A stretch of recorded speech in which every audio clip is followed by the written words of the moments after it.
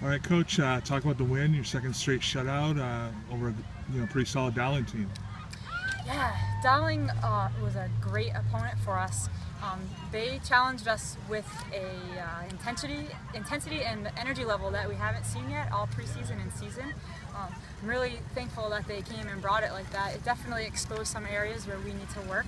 Um, but I think the most important part for us was to come out and play SNU field hockey, and that's what we did. We played our game. Talk a little about you know second half the defense. You know the field really tilted a little bit, and they were getting a lot of opportunities. And your defense, particularly your goalie, you know really stood up there at the end.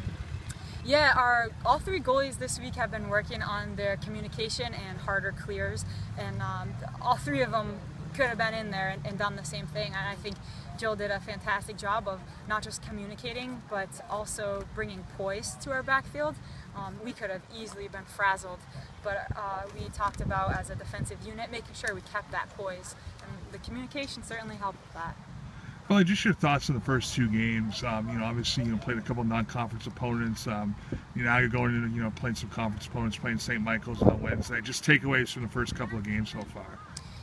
Well, I think it's important to be happy and proud of what we've done so far, um, but certainly not satisfied. Um, there are certain parts of our game that are easily going to be exposed uh, that we'll be working on, and um, if we don't clean up, other opponents will take advantage of it, which I, I would say Dowling definitely started to do in the second half. Um, but it gives us just a slight bit more of um, bounce in our step, I think, which is important, but um, as long as we're keeping it in a, in a contained way.